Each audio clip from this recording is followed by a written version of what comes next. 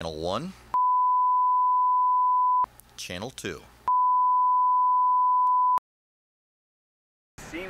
Like I, I walked with 18 year old Sergio Iglesias through his apartment complex in Port Orange. He's just laying right there. He took me to the spot where a rattlesnake almost bit him. And I jumped to the side and I said, Lord have mercy. So the first thing I did was throw my shirt off, threw it over and jumped on top of it, and then caught it from there. After it startled him, it piqued his curiosity because he loves snakes. He became so curious, he decided to pick the snake up. Were you afraid that it was going to bite you? Yes. I was terrified actually. It's a rattlesnake.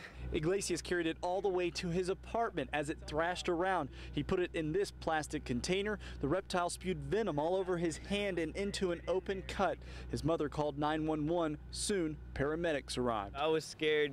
You know, I didn't know what to do. So the police came here in the ambulance and they told me I was fine from there. Experts say it's not surprising at all the rattlesnake was here. This apartment complex is right next to their natural habitat, a pine forest. Officials confirmed it was an eastern diamondback rattlesnake. We've shown this similar one before handled by a trainer and how it can strike at the speed of lightning. Experts say Iglesias is lucky to be alive, and again, they advise people to never approach a creature this dangerous.